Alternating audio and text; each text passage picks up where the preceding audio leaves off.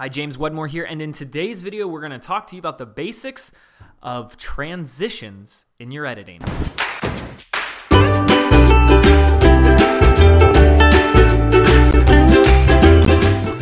All right, so if you're just joining us and you haven't seen any of my other videos, I highly recommend that you click one of the links on your screen to start our full-blown video tutorial series on how to edit, the basics of editing for non-editing. You can click the annotations on your screen and watch those videos first before you get to this one.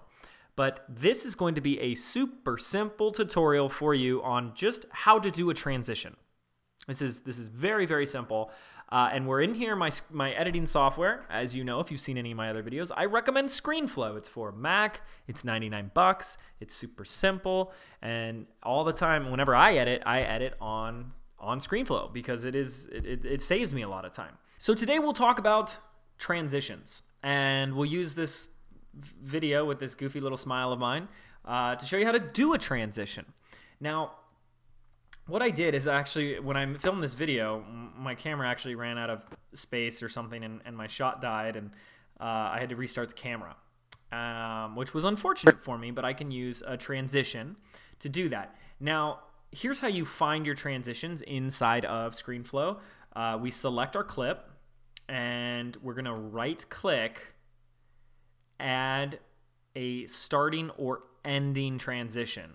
So if we wanted at the end of this clip, we'd add an ending transition. It's pretty self-explanatory. Now it's gonna give us a default tran uh, transition, which we can't see until we like crazy zoom in, but here it is right here. You can see it's got this AB overlay. So what you can do is I can click this little gear wheel and it'll say show the transition inspector. And it'll show a myriad of different ones, the copy machine, the bar swipe, blah, blah, blah, all the way through to the spins, the ripples. Uh, which should we use? Uh, well, basically, the intention of this video is to, to, steer you away from using transitions as much as possible, ironically.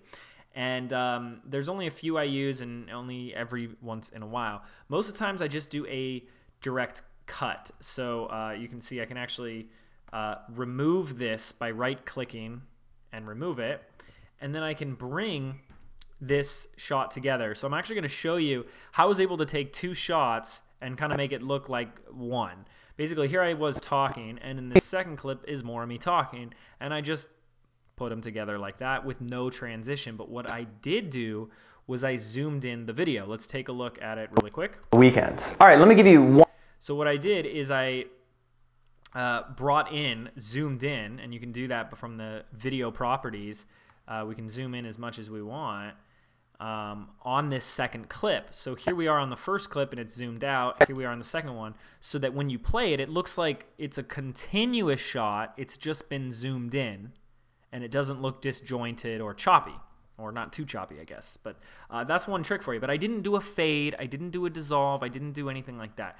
Now, what I, where I do like to use transitions are at the beginning and the end of my let me get to the end of my videos. So what I'll do is I'll go to the end of the video and I'll right click, add an ending transition, and it'll show this right here. And I can make the clip longer, I can make the transition longer, shorter, whatever I want, and then I can choose which transition I'd like. I like the cross dissolve. It's just a simple fade to black, and you can see it in action here. It's my call to action. Take care. Okay, and it just said take care, and take then care. faded to black real simple, right? This is this is pretty simple stuff. So I really only use this cross dissolve when I want to do a transition and it's usually at the beginning of a video or at the end. Now let me give you a quick disclaimer.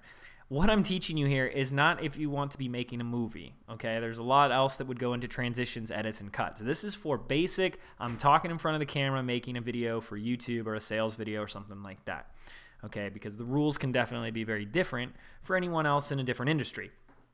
But another time I would use uh, a, a cross dissolve might be when I want to, uh, a lot of times when it's used is, is a, a lapse in time.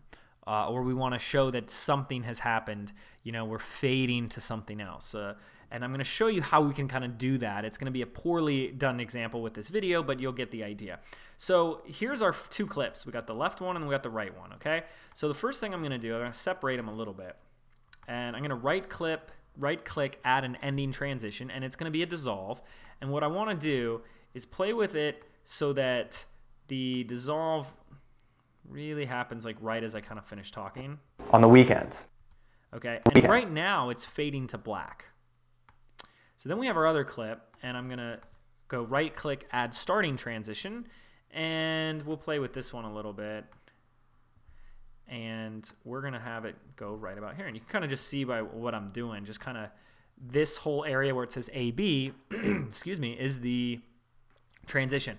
Now, if we just put them right next to each other, here's it's it's going to look like it's a fade to black and then come back. So watch what happens. Um, on the weekends. All right. You see that? You see how it went to black for a split second? See how it's at black and then came back up? Well, that's that might that's a cool effect, and you can do that but here's another way to do that so it's a seamless transition. It's not going to look good on this on this clip, but it'll show you how you can be transitioning from a maybe a scenic view to like you inside your home talking or something like that. Um, I would drop this clip down on the timeline and overlap it underneath it. And I kind of want to see how this looks if I line these two lines up, and we'll see the difference. On the weekends. All right, let me give you one more example on the weekends. All right, on the weekends. Now you see that, and we'll do it in slow motion for you. One is fading out. Clip one is fading out, while clip two is appearing. Now it's nice because it's a little bit easier on the eye, but I really don't recommend it if you're just doing this talking head video. It's more for, you know, maybe you just have a change in scenery or, or something like that. Um, so there you go. Those are the basics of transitions. The moral of the story here is try to avoid them as much as possible. Don't really do the, especially when you know we're doing professional business branding videos. Don't be doing the whole spinning leaves and and goofy stuff like that. Um, that's for people that want to make a home movie using using iMovie or something like that. And we want to be a little bit more professional. So thank you so much for hanging out with me on this video tutorial. I highly recommend you check out the rest of our tutorials on the basics of video editing so that you can get real familiar with how to be editing videos so it doesn't have to take you a lot of time. It does take you a lot of time if you want to spend hours trying to figure out the perfect transition. Now you know you don't have to. Uh, and here's the link right here on your page to uh, check out our main tutorial, video editing for non-editors. If you're a business owner, entrepreneur, author, coach, coach, speaker, local local business owner, and you know you need to be doing video, but you just can't get your head around this whole editing thing or making video things. This is these are kind of the principles that we that we lay out for you. So even if you have someone else make the video for you, you can tell them exactly what to do. You can communicate your message to them more clearly. Thank you so much for watching this video. Go ahead and click one of those links so you can see the next one in the series. Talk to you soon. Four years at our really expensive film school and over 600 videos on YouTube on over half a dozen channels later, I've discovered that the real secret to seeing an actual ROI on all your video marketing efforts